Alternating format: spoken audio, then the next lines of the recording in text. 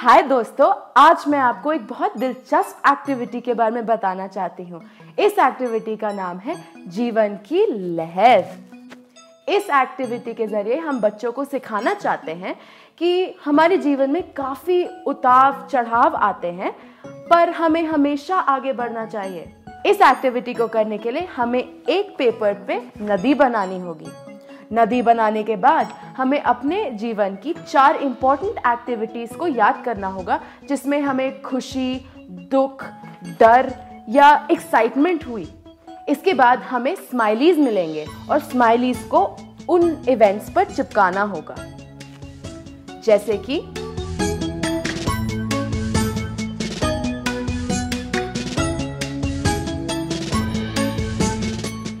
मैं उत्साहित हुई।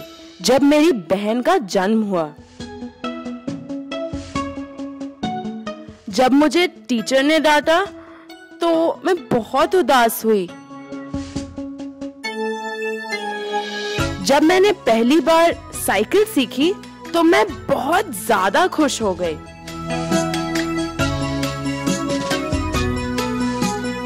मुझे बहुत डर लगा जब मैंने सांप को देखा।